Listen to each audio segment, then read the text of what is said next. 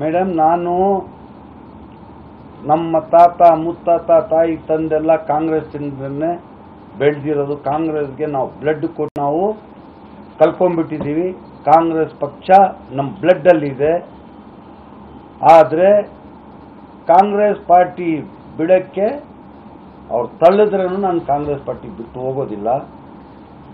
ನಮ್ಮದು ನನಗೆ ಕಾಂಗ್ರೆಸ್ ಸಿದ್ಧಾಂತ ಗೊತ್ತಿಲ್ಲ ಗೊತ್ತಿಲ್ಲದಂಗೆ ನಾನು without permission K P C ಸಿಯಲ್ಲಿ ಮಾತಾಡಿದ್ದಕ್ಕೆ ನಾನು ಕ್ಷಮೆ ಕೇಳ್ತಾ ಇದ್ದೀನಿ. ನಾನು ಇಂಥದ್ದು ಏನು ದೊಡ್ಡ ಅಪರಾಧ ಮಾಡಿಲ್ಲ.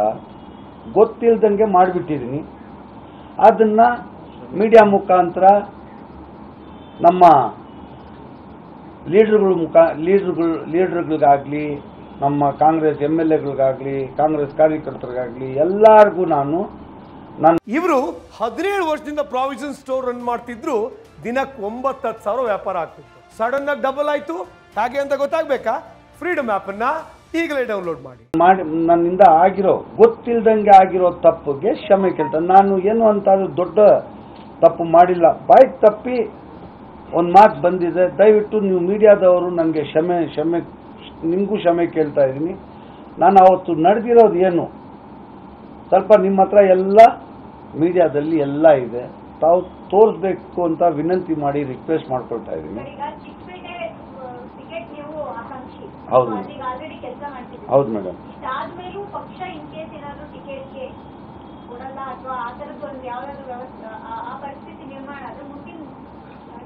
ಹಾಂ. ಮೇಡಮ್ ಅದು ಏನಂದ್ರೆ ನಮಗೆ ನನ್ ನನಗೆ ಗುರುಗಳು ಡಿ ಕೆ ಶಿವಕುಮಾರ್ ಸಾಹೇಬರು.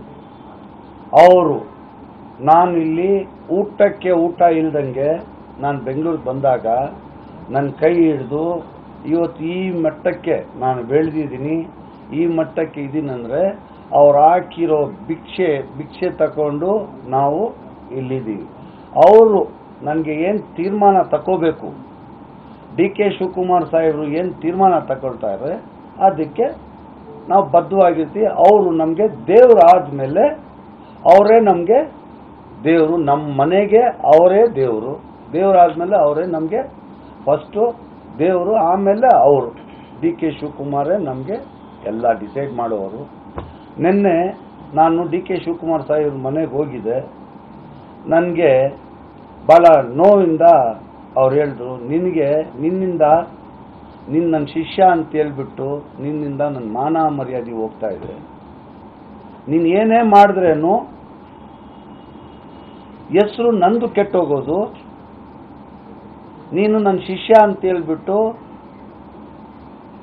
ನೀನು ಏನೇ ತಪ್ಪು ಮಾಡಿ ಗೊತ್ತೋ ಗೊತ್ತಿಲ್ಲದ ತಪ್ಪು ಮಾಡಿದ್ರೇನು ನಮ್ಮ ನನಗೆ ನಿನ್ನಿಂದ ಭಾಳ ನನಗೆ ತೊಂದರೆಗಳಾಗ್ತಾ ಇದೆ ನಿನಗೆ ಬುದ್ಧಿ ಇಲ್ಲ ಅದನ್ನು ನಿನ್ಗೆ ಯಾರು ಗೈಡ್ ಮಾಡೋದು? ಅವ್ರಿಗೆಲ್ಲ ವಾರ್ ಮಾಡ್ತೀನಂತ ನನಗೆ ಬೈದು ಹೋಗಿ ನೀನು ಮಾಡಿರೋ ತಪ್ಪನ್ನು ನೀನೇ ಆಗಿ ಹೋಗಿ ಸರಿ ಮಾಡಿ, ಹೋಗು. ಅಂತ ನಮ್ಮ ಸಾಹೇಬರು ಆರ್ಡ್ರ್ ಮಾಡಿದ್ರು.